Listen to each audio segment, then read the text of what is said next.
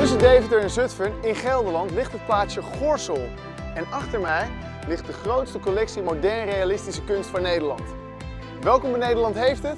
Op naar Museum Moor. Nou, Elle, we staan in het gebouw. Dat is al ontzettend indrukwekkend. Ja, wij zijn ook heel erg blij mee met het gebouw. Het is ontworpen door Hans van Heeswijk. Hij heeft ook uh, de Hermitage in Amsterdam hm. ontworpen, Mauritshuis in Den Haag en de nieuwe entree van het Van Gogh Museum in Amsterdam. En dus ook dit in Gorsel. Ja. Modern realisme, wat is dat? Een kleine uitleg? Ja, modern realisme dat is een, een kunststroming die uh, ongeveer een eeuw terug inzette. Eigenlijk is er heel veel onder. Het belangrijkste is dat het allemaal figuratief is. En dat betekent dat mhm. eigenlijk alles wat je ziet herkenbaar is. Leuk. Nou, zou je mij dan vandaag een klein beetje willen leiden? En misschien loop ik wel weg als een echte moderne realistische kenner straks. Ja, natuurlijk. Malkus is een, eh, een eh, kunstenaar die, eh, die heel populair is bij onze bezoekers. Hij heeft een fantastische, hele zachte stijl. Het zijn bijna droomachtige schilderijen. Mhm. Hier kan je zien, deze twee kleine figuurtjes. Dit is Jan Mankus en ehm, zijn verloofde, met wie hij daarna heel romantisch zou trouwen in hetzelfde jaar als dat hij het schilderij heeft gemaakt in 1915. Leuk. Is er een guide of een boekje nou, waardoor je dat soort leuke feitjes weet? We hebben professionele gidsen. Uh, die kun je boeken als je hier naartoe komt, naar het museum. En die kunnen je van alles vertellen over, uh, over het museum en mhm. over de kunst. En, uh, en dus ook dit soort leuke verhaaltjes achter het werk. En dan had je het net over dat alles heel nauwkeurig geschilderd was, heel duidelijk was. Dit is, is toch niet heel erg duidelijk? Toch? Modern realisme heeft allerlei eh, schakeringen van heel verfijnd, technisch perfect, uh, tot uh, vrij ja, expressief. En kan je me dan ook die andere kant laten zien? Dat, ja. Dat, ja. ja. ja. Charlie Torop. Ja, en dit, dit is inderdaad wel weer heel anders meteen. Ja, Charlie Torop hoort ook natuurlijk bij het moderne realisme, ja? maar werkte weer heel anders. Ja. Uh, zij was een kunstenares die uh, hield van expressief. Uh, je kan ook zien deze bloesemboom, daar spat de lente ja. vanaf. Dit lijkt een heel vrolijk schilderij.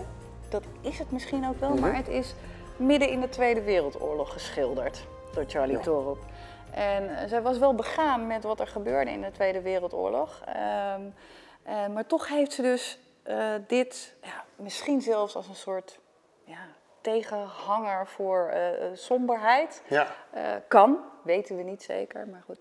Is dat ze deze bloesemboom heeft geschilderd. Mooi. Ik ben zo blij met jou, met die feitjes. Ja. Toch een extraatje. ja.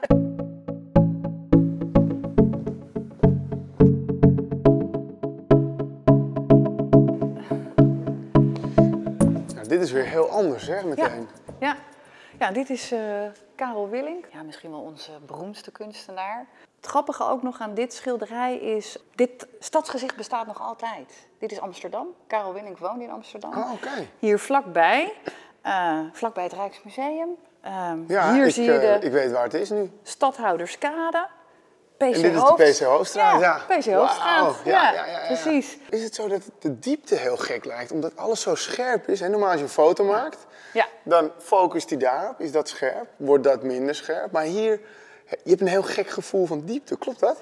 Uh, ja, een schilder eh, geeft natuurlijk zijn eigen uh, visie op uh, de werkelijkheid. En als hij daar ook nog iets vervreemdends aan wil toevoegen, mm -hmm. want dat maakt het extra interessant, ja. ja. dan kan het zijn dat het perspectief niet helemaal is zoals je dat in de werkelijkheid ja, met je eigen ogen gewend bent. Ja. ja.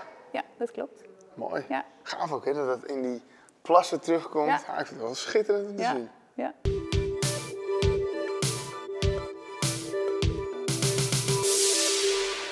En we staan in het café van het museum, maar je moet me nog één ding uitleggen. Hoe kan het grootste museum in modern realisme in Gorsel belanden? Gorsel, ja. De reden uh, dat we hier zitten is uh, onze initiatiefnemer Hans Melgers had die collectie, besloot dus om een museum te bouwen. Maar hij wilde dat doen in de Achterhoek waar hij zelf woont, om iets terug te doen voor de regio. Nou, wil je nou meer zien over Museum Moor? Kijk dan op onze website en volg ons natuurlijk op de sociale media. En ik hoor een koffiezetapparaat. De beste koffie van de Achterhoek hier.